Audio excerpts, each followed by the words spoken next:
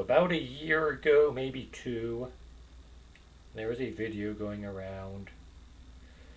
A woman didn't want transgender ideologies being taught to kids. Didn't want kids being taught they were a different gender just because they believed they were. So she went to the school board meeting dressed as a cat and made the argument if I if I claim to be a cat, will people treat me like a cat? And it's sort of a nonsensical argument, some people would say, except that um, that was two years ago. Now it's a lot less nonsensical. My brother went to visit his daughter and her family, and he told me that at her her daughter's school, his granddaughter. Um, this is a, she's about five years old. I forget her exact age. This is preschool or kindergarten. They have three bathrooms, or they've got the boys' bathroom, the girls' bathroom, and they have a room with a box of kitty litter in it because one of the students identifies as a kitten. So yeah, this this this ridiculous um, thing that the uh, woman was going through is now a real thing. Now, this is my brother telling me this story. It is entirely possible he's pulling my leg. Um, so I went online, tried to looked up because I, I know the city that she that uh, my niece lives in, so I looked that up and tried to find out about you know schools allowing a child to identify as a cat.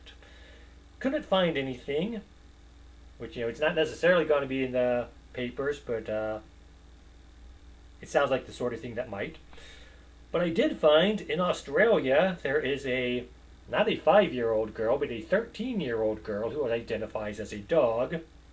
Another student actually got in trouble for not acknowledging that she was a dog. So this is this is a lot worse than, I mean, the five-year-old kid I can sort of understood because you know kids have little kids have good imaginations. Um, indulging their belief that they're a kitten isn't the greatest idea in my mind, but um, the the idea that they want to be considered a kitten I can understand. The 13 year old girl wanting to be a dog insisting that all her classmates call her a dog. A classmate gets in trouble for not acknowledging her dogness, if you want to call it that. That I don't get. I mean, this girl is early teenager. She's getting ready, you know, in America, she'd be going to high school. Uh, she'd be in junior high, getting ready to go to high school. Now, my question on this is Are either of these girls certified as helper dogs or emotional support animals. Because if they aren't, then they can't go to a restaurant. If, if you want to be treated like an animal, we've got to treat you like an animal 100%.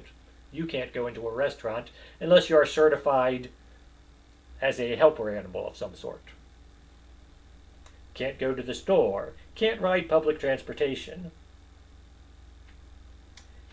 if the girl from Australia takes a vacation to another country, she's got to go through the Australian quarantine before she comes back. Because pets are expected to go through quarantine, aren't they? She, she, she is not identifying as a human. She wants to be treated as an animal. She should be treated as an animal full fledged. Now, there was a guy, I saw another article a few years back. Um, Japanese guy wants to identify as a dog. So he had, he spent a lot of money. I forget how much he spent, but it was a huge amount of money to get a realistic dog suit. I mean, not your common furry that you see you know, people running around in, but this is an actual, looks pretty much like a dog. Um, the, the article said it was realistic, quote unquote. The picture they showed was a little blurry, so it was hard to tell how realistic it was. But you know, I, I would say you know, it's closer to a dog than some costumes you would see. Um, I believe it was a collie.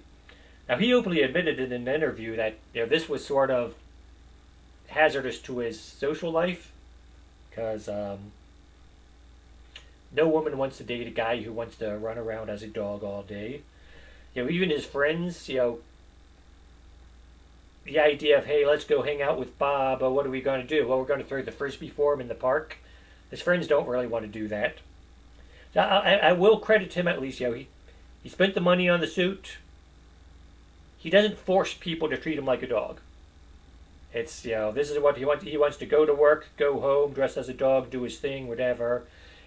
He doesn't complain that no one else wants to identify, acknowledge his dogness. You know, people don't have to be his friend because he identifies as a dog or wants to be treated as a dog. So I'll give him that much credit. He's not trying to force other people to call him a dog when he clearly isn't. Even with the suit, like I said, this, the, the picture of the suit was a little blurry, but yeah, you can tell it's a guy in a dog suit and not a real dog, even though it was wasn't a bad looking dog suit, but still not a dog, you could tell. and so this is what we're going into now. Um, like I said, it didn't take long. you Yeah, there's the whole slippery slope argument nobody wants to face. Um, but in this case, a couple people made the slippery slope, ar- slope argument, and here we are on the slippery slope. We've slid down the slope part way. now, one one can always argue with the other with the one girl, the five-year-old girl. This is just a phase she's going through. Except you can't always argue that now because thanks to the whole transgender movement, if you say, oh, this is probably just a phase they're going through, you're hateful. So now it's not enough, you know. And in years back, past, a, a psychologist would have said, oh, it's just a phase she's going through. They wouldn't necessarily have said indulge her in it. I mean, just uh, treat it as a game, but don't indulge her in it. Let her know from time to time she is human. But nowadays, no, it's a phase they're going, it, it, or you can't say it's a phase they're going through. You have to actually acknowledge it, otherwise you're being hateful. That's, you know, we, we, we've learned that from the whole transsexual movement, is you can't just say it's a phase or you're being hateful. Even though, your gender dysphoria, a lot of researchers coming out saying some of these people who think they might be a man when they're actually a woman or think they might be a woman when they're actually a man. They will grow up to be gay, but in a few years they will get over this feeling that they are the wrong gender. Um, so actually, transgenderism in that sense is a little helpful towards gay people, and gay people are beginning to stand up and say that. But definitely, when we're talking animals, we've got to sort of draw the line fairly early. And yes, you know, little kids want to run around and pretend to be animals sometimes, but let them know it's just a game. Don't indulge them in it, or they're going to grow up to be really screwed up. Like this 13 year old girl in Australia. Um, that's it. And oh, yeah, like I said, if you really want to be treated like an animal, don't be surprised if people want to treat you full fledged and say, okay, you're not allowed in my restaurant, you're not allowed in my store, because otherwise I'm treating you like a human. That's not discrimination. That's uh, the law in some cases. So that is it. Uh, just wanted to talk about um, this weird phenomena, which again, people spoke of as a hypothetical, and now it's actually becoming a real thing.